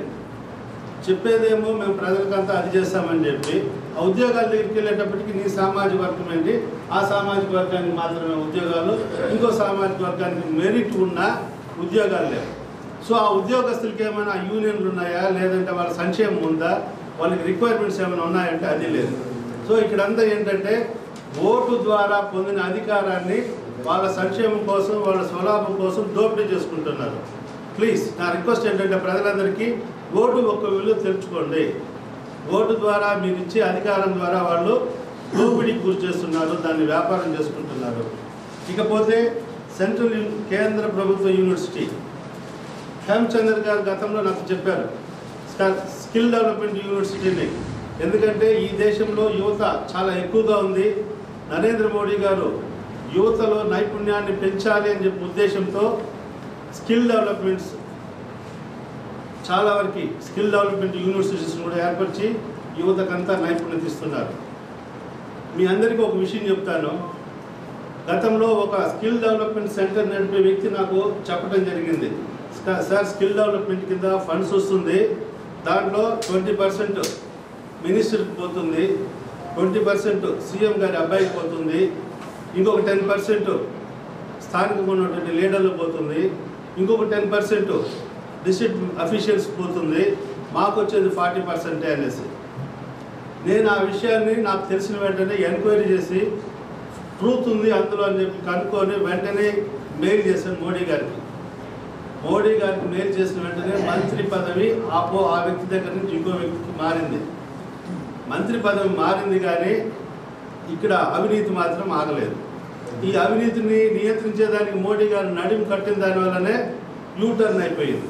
మీ అందరూ చూస్తున్నారు రోజు పేపర్లు ఏం జరుగుతూ ఉంటుంది సో భారతీయ జనతా పార్టీకి మాత్రమే అవినీతికి అవినీతి రహిత పాలన అందించేదానికి అందించేదే కాకుండా అవినీతి లేకుండా ప్రణాళికలు సిద్ధం చేసి ప్రజలకి ప్రజాధనాన్ని డైరెక్ట్గా వచ్చే విధంగా చేసే చిత్తశుద్ధి ఉన్నటువంటి ఏకైక పార్టీ. దాని తర్వాత చిత్తూరులో కూడా నేను హేమంత్ ఇచ్చినప్పుడు నేను రాజ్నాథ్ సింగ్ గారు వచ్చారు రిప్రజెంటేషన్ ఇచ్చాను. ఈ ఎన్నికల సీజన్ ఉన్నాయి కాబట్టి ఇప్పుడు చేయలేము తర్వాత చేస్తామని చెప్పి కూడా హామీ ఇచ్చారు. భారతీయ జనతా పార్టీ తరఫున మన చిత్తూరులో స్కిల్ డెవలప్మెంట్ యూనివర్సిటీ తీసుకొచ్చేదానికి మేము కృషి చేస్తామని చెప్పేసి మీ అందరికీ తెలియజేస్తున్నాను. ఇకపోతే రోడ్ల విస్తరణ. రోడ్ల విస్తరణ అనేది దోపిడీ. చిత్తూరులో ప్రజలకి ఎంత అచేతనంగా ఉన్నారు ఎంత సేవ లేకుండా ఉన్నారు ఎంత జీవం లేకుండా ఉన్నారు అనే దానికి ఇదొక ఉదాహరణ. మొట్టమొదటిగా సంతపేటలో రోడ్డు ఇస్తున్నప్పుడు నేను వెళ్ళాను. సంతపేట వాసులతో అంతా కలిశాను మాట్లాడాను. మీ తరఫున నేనుంటాను కేసు వేస్తాము. ఏదో బరీ కావచ్చండి. మీకు నష్టపరిహారం తప్పనిసరిగా ఇవ్వాలి. చట్టం ఉంది. చట్టం ఏముందంటే రీకన్స్ట్రక్షన్ రీహెబిలిటేషన్ అంటే ఏదైనా సపోజ్ వెంకటాచలం నాయుడు ఇల్లు భూసేకరణ కింద కావాలని అంటే ఆ ఇంటికి ప్రపోర్షనేట్గా ఫోర్ టైమ్స్ కాంపెన్సేషన్ ఆయనకి ఇవ్వాలి. ఆయన ఇంటి ముందు ఎవరైనా ఏదైనా చిన్న వ్యాపారం చేసుకుంటా పేమెంట్ ఉంటే అట్లాంటి వ్యక్తి ఉపాధి కోల్పోతాడు కాబట్టి ఆ ఉపాధి కోల్పోయే వ్యక్తికి కూడా నష్టపరిహారం ఇవ్వాలి. చట్టం ఇంత స్పష్టంగా నిర్దేశించినా కానీ చిత్తూరు నుంచి మున్సిపల్ అధికారులని పోలీస్ అధికారులను తీసుకెళ్ళి ప్రజల్ని మభ్యపెట్టి భయపెట్టి అధికార దుర్వినియోగం చేసి దౌర్జన్యంగా లాక్కోవటం జరిగింది. నేను ప్రజలకు అప్పుడే చెప్పాను ఇక్కడ వచ్చిన మున్సిపల్ అధికారి లంచం లేకుండా పనిచేసేది లేదు జీతం లేకుండా పనిచేసేది లేదు ఇక్కడ ప్రజలు మాత్రం ఉచితంగా భూములు ఇచ్చేవాళ్ళు ఆస్తులు ఇచ్చేవాళ్ళు. ఎందుకంటే మనం చూస్తున్నాం పది అడుగులు పదహైదు అడుగులు ఇరవై అడుగులు ఉండే ఇంటి స్థలాలే. పాపం వెడల్పు అంతే ఉంటుంది. అట్లాంటి వారి దగ్గర ఈ విధంగా తీసుకుపోవడం అనేది చాలా దారుణం. దానికి కారణం మీ యొక్క ఓటే. మీ ఓటే మీకు తెచ్చిన చేటు. మీ ఓటును కన్నా సరైన వ్యక్తికి కన్నా వేసి ఎన్నుకోనుంటే ఉంటే ఈరోజు మీ భూములు మీ ఇండ్లు మీ ఆస్తులు ఇలా వదులుకునే పరిస్థితి లేకుండా ఉండాలి. దాని తర్వాత హై రోడ్డు విస్తరణ. మిత్రులారా మీరు అందరూ ఒకసారి చూడండి. మన చుట్టూ నాలుగు లైన్లు ఆరు వరుసల లైన్లు పోతుంది. ప్రతి చోట మీరు ఎవరినైనా అడిగి చూడండి. మురకం బట్లకి వెళ్ళి అడిగి చూడండి. ఫ్లైఓవర్ బ్రిడ్జిలు కడతా ఉంది కేంద్ర ప్రభుత్వం. ఎంత క్వాలిటీ వర్క్ ఉంది. అదే కాకుండా రైతులను అడిగి చూడండి. ఎంత సంతోషంగా ఉన్నారంటే వాళ్ళు మాకు కేంద్ర ప్రభుత్వం మంచి నష్టపరిహారం ఇచ్చింది. ఈ ఈ ఆస్తి పోయినా కానీ మేము దీన్ని తీసుకుని వెళ్ళి ఇంకొక చోట ఆస్తి కొనుక్కున్నాము ఇంకో చోట ఇన్వెస్ట్ చేసినామని చెప్పేసి వాళ్ళందరూ ఆనందంతో సంతోషంగా ఉన్నారు. అది కేంద్ర ప్రభుత్వం చేపడుతున్నటువంటి చర్యలు. అదే ఇక్కడ ఇందాక చెప్పుకున్నారు శతాబ్దాల చరిత్ర ఉంది చిత్తూరుకి. శతాబ్దం ముందు ఎంత రోడ్డు ఉందో అంతే రోడ్డు. కానీ అప్పుడున్నటువంటి వాహనాలు అప్పుడున్నటువంటి కాలుష్యము ఇవన్నీ చూస్తున్నాం. కాబట్టి భారతీయ జనతా పార్టీకి మాత్రమే కమిట్మెంట్ ఉంది. రోడ్ల విస్తరణ అందరికీ సరైనటువంటి న్యాయసమ్మతమైనటువంటి నష్టపరిహారాన్ని ఇచ్చి భవన యజమానులకే కాకుండా అక్కడ ఉపాధి ఉన్న వారికి కూడా భారతీయ జనతా పార్టీ కమిట్మెంట్ ఉంది. ఇంకా పార్టీ ప్ర- మీరేం చేస్తారనేది ఒక రెండు రెండే రెండు చేస్తాను నేను చెప్పి చెప్తాను. నా ఈ చివరి పాయింట్లో నేను ప్రధానంగా రెండే నేను ఎమ్మెల్యేనైతే మీకు చేసే అంశాలు రెండే. ఒకటి ఏంటంటే అవినీతి రహిత పాలన. మనందరూ చూస్తున్నాం ప్రభుత్వ కార్యాలయాల్లోకి వెళ్తే స్వేచ్ఛగా సంతోషంగా సుఖంగా సేవలు చేసుకొస్తున్నాం అంటే లేదు. ప్రతి చోట ప్రభుత్వ అధికారి ఉన్నాడు అతనికి ప్రభుత్వం జీతం ఇస్తుంది. కానీ ప్రభుత్వ అధికారి దగ్గర పోయి పని చేసుకోవాలంటే ఓ ఎమ్మెల్యే దగ్గరికో లేదంటే కార్పొరేటర్ దగ్గరికో ఇంకో మంత్రి దగ్గరికో ఇంకొకరి దగ్గరికో వెళ్ళాలి. ఇది అవసరమా? దీనికి కారణం మీ ఓటు. మీ ఓటు సరైనటువంటి ప్రజాప్రతినిధికి వెళ్తే ఆ ప్రజాప్రతినిధి ఈ అధికారుల యొక్క కార్యకలాపాల్లో జోక్యం చేసుకోకపోతే సరైన పాలన సుపరిపాలన సాధ్యమవుతుంది. ఏ చిన్న పనికైనా వెళ్ళండి. బర్త్ సర్టిఫికేట్ వెళ్ళాలన్నా ఇంకోటి రికమెండేషన్ చేయాలి. డెత్ సర్టిఫికేట్ పోవాలన్నా ఎమ్మెల్యే రికమెండేషన్ డెత్కి ఎమ్మెల్యేకి ఏం సంబంధము? ఇలాంటివి ఉన్నాయి. సో ప్రతి దాంట్లోనూ వీళ్ళ జోక్యం. ప్రభుత్వం పెన్షన్ ఇస్తుంది. ప్రభుత్వం పెన్షన్ ఇవ్వాలన్నా ఎమ్మెల్యే రికమెండేషన్ ఇల్లు ఇవ్వాలన్నా ఎమ్మెల్యే రికమెండేషన్ ప్రధానమంత్రి ఆవాస్ యోజన కింద ఇండ్లు ఇస్తుంటే ఇక్కడ వీళ్ళేం చేస్తున్నారు? ఎమ్మెల్యే రికమెండేషన్ లేకుండా తర్వాత లోకల్ కార్పొరేటర్కి ఇరవై ట్వంటీ పర్సెంట్ కమిషన్ ఇదేనా? చూడండి మీ ఓటు ఏ విధంగా దుర్వినియోగపరుస్తున్నారు అనేసి. సో ఇలాంటి పరిస్థితి లేకుండా ఇంకో ముఖ్యమైన విషయం మా మిత్రుడు బాబు కిరణ్ గారు కూడా ఉదయం నుంచి చెబుతున్నారు మనం రైతులు ఉత్పత్తి చేసుకొని తట్టల్లో తీసుకొస్తే జామకాయలు కానీ మామిడికాయలు కానీ చింతకాయలు కానీ రోడ్డు మీద పెట్టుకొని అమ్మితే కూడా వచ్చి లెఫ్ట్ లెగ్తో తంటాడు ఏమని? వాడికి మామూలు ఇవ్వాలి అనేసి. అది అనాథరైజ్డ్ కలెక్షన్. ఇట్లాంటివి రైతులకే కాదు వ్యాపారస్తులకు కూడా మనం చూస్తున్నాం మార్కెట్ దగ్గర ఇంకో చోట ఇంకో చోట అన్ని చోట్ల దోపిడీలే. ఎందుకు ఇవ్వాలి? వీటన్నిటికి కూడా కారణం మీ ఓటు. మీరు ఈరోజు వెయ్యి ఐదు వందలు తీసుకొని వేసే ఓటు వల్ల జీవితకాలం మీరు వీళ్ళకి ట్యాక్సులు కట్టాల్సి వస్తుంది. సో నేను కానీ ఎమ్మెల్యే అయితే ఎక్కడ కూడా కానీ ఎలాంటి ఇట్లాంటి రౌడీయిజం లేకుండా మామూలు ఇచ్చే పని లేకుండా సుపరిపాలన స్వేచ్ఛగా రామరాజ్యం అని చెప్పి మనం ఏ విధంగా చదువుకున్నామో అలాంటి రామరాజ్యాన్ని స్థాపిస్తాము. అందరికీ సమానమైనటువంటి గౌరవం అందరికీ స్వావలంబన అందరికీ స్వాభిమానం ఉండే విధంగా తీసుకొస్తానని చెప్పేసి నేను చెప్తున్నాను. ఇంకోటి ఏంటంటే ఒక అంశం అవినీతి. ఇంకొక అంశం ఈ ఊరిని దోమలు లేని నగరంగా తీర్చిదిద్దుతా. దోమలు లేని నగరంగా తీ చిత్తూరుని తీర్చిదిద్దేదానికి ఇరవై నాలుగు గంటలు పనిచేస్తా. స్వచ్ఛ భారత్ అనేసి నరేంద్ర మోడీ గారు ఏ విధంగా అయితే చీపురెత్తుకొని కూర్చారో స్వచ్ఛ భారత్లో భాగంగా నేను కూడా నేచర్ లవర్స్ అసోసియేషన్ ప్రెసిడెంట్గా చాలా డ్రైనేజీలు అవన్నీ కూడా క్లీన్ చేయడం జరిగింది. అనుభవం ఉంది. దోమల కారణంగా మనం ఎలాంటి అపరిశుభ్రత ఉంది? మన ఆరోగ్యం ఎలా క్షీణిస్తూ ఉంది? మనం అభివృద్ధి ఎలా కుంటుపడుతూ ఉంది? ఇవన్నీ. సో స్వచ్ఛ భారత్ మిషన్లో భాగంగా చిత్తూరు నగరంలో దోమలు లేని నగరంగా ప్రతి చోట క్లీన్ అండ్ గ్రీన్గా ఉంచేదానికి కృషి చేస్తాను. కాబట్టి అవినీతి రహిత పాలన దోమలు లేని నగరంగా చిత్తూరు కావాలని అంటే Bharatiya Janata party. Smart city development society అని మనం మన గొంతుని బయట చెప్పాలనే ఉద్దేశంతో మనం ఏర్పాటు చేయడం జరిగింది. జరిగేటప్పుడు మా టీం మెంబర్స్లో అతి చిన్న వయసు నేనే గడ్డ నరసింహ చిన్న వయసు వాళ్ళు నీటి షేవింగ్ చేశారు పెద్ద వయసు. ఆ రోజు చెప్పాను నేను పోరాటం లేకపోతే సాధించలేము అని చెప్తే నేను చెప్పాను ఆ రోజు కుప్పానికి కాలో లేదు కానీ కుప్పానికి నీళ్ళు వెళ్తుంది చిత్తూరుకి రాదని చెప్పాను. ఇప్పుడేం జరిగింది? అదే జరిగింది. సాక్షి రాజేంద్ర నాయుడు తాండవమూర్తి దయరామ్ సార్. ఆదరణ లేదు. కాదనలేని సత్యాలు అవి. కాబట్టి పోరాటం అనేది ప్రజల నుంచి మన నుంచి లేకపోతే మనం ఏమి చేయలేము. కలిసి పనిచేస్తే కూడా జరగవు. ఇది చెప్పాలనుకున్నది రెండోది అంటే చిత్తూరు డైరీ మూయేశాడు షుగర్ ఫ్యాక్టరీ మూయేశారు ఎవరు? చంద్రబాబు నాయుడు. ఆయన ముఖ్యమంత్రి. రాష్ట్రానికి ఉండాలా? కనీసం జిల్లాకి కొంచెం ప్రాంతీయతత్వం చూపించి చేయాలా? ఆయన ఢిల్లీలో ప్రాంతీయతను చూపిస్తాడు. నా రాష్ట్రము ఐదు కోట్ల మంది ప్రజలు అట్లా ఇట్లనేసి ఇక్కడ ఏం చేస్తున్నాడు?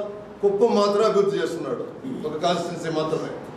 చ- కిరణ్ కుమార్ రెడ్డి వచ్చాడు పీలేరు అభివృద్ధి చూశాడు. జిల్లాల గురించి ఎవరు పట్టించుకోవాలా?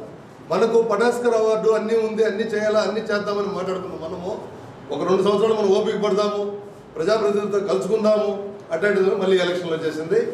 మళ్ళీ పిండి పోయి రొట్టె పోయి అంటే మళ్ళీ సరిపోతుంది ఇదే సరిపోతూ ఉంటుంది.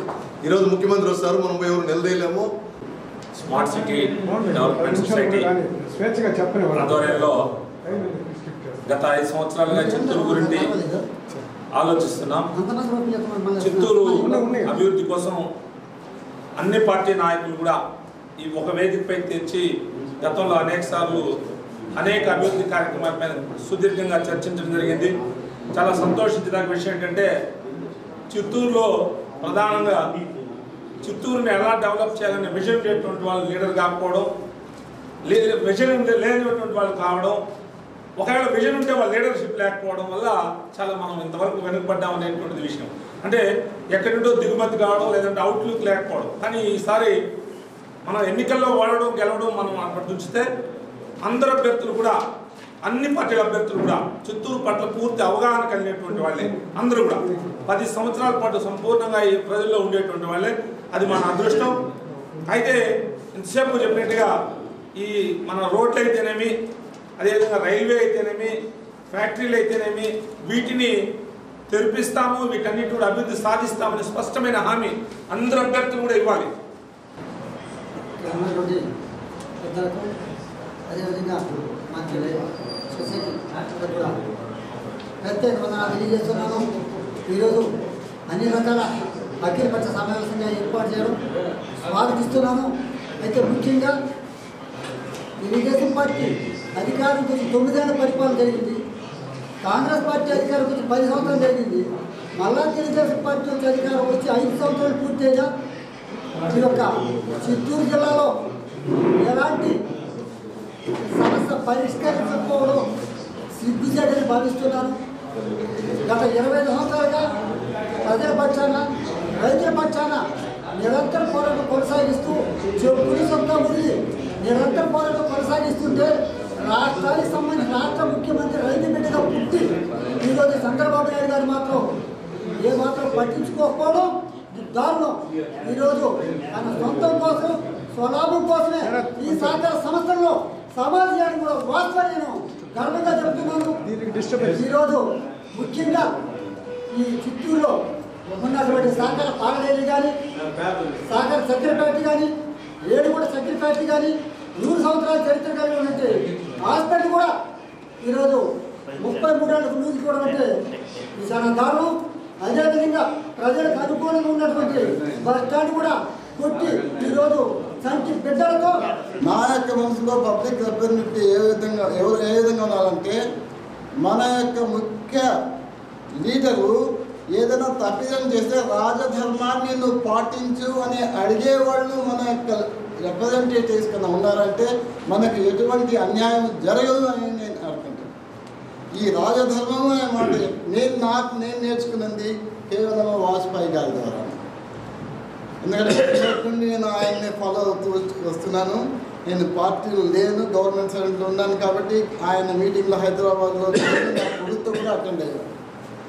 అంతటి మహాన వ్యక్తి ఒకప్పుడు ఏం చెప్పినానంటే ఏదన్నా తప్పు చేసినప్పుడు ఒక చీఫ్ మినిస్టరు నీవు రాజధర్మాన్ని పాటించు. నీవు రాజధర్మాన్ని పాటిస్తే చిత్తూరుకు నీళ్ళు రాకుండా కుప్పానికి ఎట్లా పోతుంది చెప్పండి? అట్లీస్ట్ మూడు యూనివర్సిటీలు మన భారత ప్రభుత్వం ఇస్తే ఐటీ యూనివర్సిటీకి ఏం కావాలండి వనరులు ముడి పదార్థాలు ఏం కావాలండి అది కూడా మన చిత్తూరుకి ఇవ్వరా? ఒక్కసారి ఆలోచించండి. నేను అందరినీ కోరుకునేది ఏంటంటే మైనారిటీస్గా కనీసం టెన్త్ వరకు ఉర్దూ మీడియం వచ్చేట్టుగా చేయండి. ఎందుకంటే అన్యాయం అయిపోతున్నారు పిల్లలు. ఏడవ తరగతి తర్వాత ఏ హోటల్కో ఏ బజార్కో ఏ మామిడికాయలు అమ్ముకోవాలంటే ఇద్దరిని ఉంది. ఈ బాధలు చెప్తుంటే మైనారిటీ సపరేట్ ఏం లేదు అది అది అంటారు. నేను మైనారిటీగా మాట్లాడడం లేదు ఒక క్లియర్గా ఆలోచించండి. ఏ విధంగా వాళ్ళు క్లాస్ వర్క్ కాలేకపోతున్నారు అనే విషయాన్ని మాత్రం దయచేసి మీరు తీసుకొని దానికి తగమైనట్టు విధంగా మీరు హెల్ప్ చేయాలని చెప్పి మీ అందరినీ సమస్యల మీద మనం సమస్యలు చెప్పినాం వాళ్ళ స్పందన చూసినాం. ఆ తర్వాత ఇది ఒక రోజుతో అయ్యే పని కాదు. ఎన్నికల్లో ఒక పంద లేదా ఒక విధానము లేదా ఒక ఆలోచన విధానాన్ని ప్రజల్లోకి తీసుకుపోవడానికి ఈ వేదిక ఉపయోగపడుతుందని నేను భావిస్తున్నాను. ఆ విధంగానే అభ్యర్థులు కూడా భావించి మన మధ్యలోకి రావడం జరిగింది. మరి మన అందరికీ కోరికలు ఎక్కువ వనరులు పరిమితము వనరులు అంటే ఇక్కడ అభ్యర్థులు కూడా మనకు తీర్చే కో- మన కోరికలు తీర్చే అభ్యర్థుల యొక్క వనరులు కూడా. ఎందుకంటే వాళ్ళకు కూడా వాళ్ళ రాజకీయ పార్టీల యొక్క విధానాన్ని బట్టి వాళ్ళ స్పందన కూడా ఉంటుంది మొదటిది.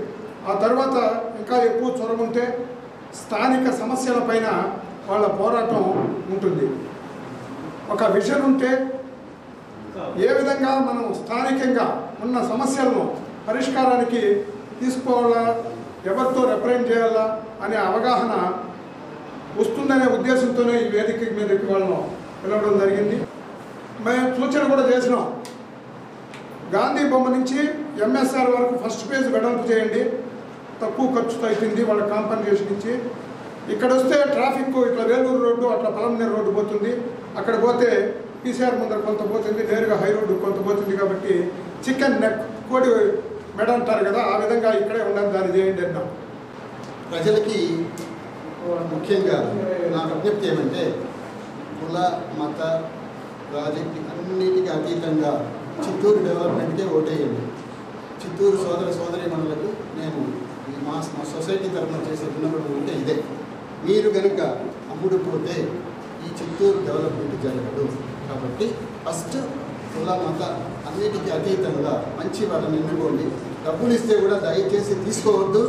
అలా ఎవరైనా డబ్బులు ఇవ్వడానికి ప్రయత్నిస్తే మీరు వెంటనే ఎలక్షన్ కమిషన్ నోటీస్ తీసుకెళ్ళచ్చు పోలీస్ దగ్గరికి తెరవచ్చు నెంబర్ వన్ అదేవిధంగా అధిక ఇందాక శరత్ ఎవరు అన్నారు ఇక్కడ అవగాహన సమస్యలపైన అవగాహన ఉన్న వాళ్ళకి పవర్ లేదు. పవర్ ఉన్న వాళ్ళకి అవగాహన లేదు. పవర్ ఎవరికి ఉందంటే ఎవరో ఎంపోర్ట్ చేస్తారు డబ్బులు ఉండే వాళ్ళకి పవర్ వచ్చేస్తూ ఉంది. ఆ పవర్ని వాళ్ళు వాడుకోలేని పరిస్థితులు ఉన్నాయి. అది పోవాలంటే ప్రజలు ఇవన్నీ కూడా గమనించారు ఈరోజు అవగాహన ఉన్న వాళ్ళకి పవర్ లేదు. అదేవిధంగా మెంబర్స్కి కూడా నేను చేసుకునే వినపం ఏమంటే ఈరోజు గెలవచ్చు ఒకరే గెలుస్తారు. మిగతా నలుగురు కూడా ఇందాక కాంగ్రెస్ అభ్యర్థి చెప్పారు. మేము ఎవరైనా గెలిచినా ఓడినా కూడా ఈ అభివృద్ధి ఖచ్చితంగా డెవలప్మెంట్ కోసమే మనం పనిచేస్తాం. రెండు మూడేళ్ళలో ఈ సొసైటీని ఇంకా డెవలప్ చేసి పవర్ కాదు మనకు ముఖ్యం. చిత్తూరు డెవలప్మెంట్ అని చెప్పి ఆలోచించి ప్రతి ఒక్కరు కూడా ఈ సొసైటీకి మీరు డెవలప్మెంట్కి పాటుపడాలని కోరుతూ ఈ మీరు వచ్చిన అభ్యర్థులకి మెంబర్స్కి పెన్షనర్స్ అసోసియేషన్స్కి ప్రతి ఒక్కరికి పేరు పేరున ధన్యవాదాలు తెలియజేసుకుంటూ నమస్తే సెలవు. Okay sir. థ్యాంక్ యూ నమస్తే.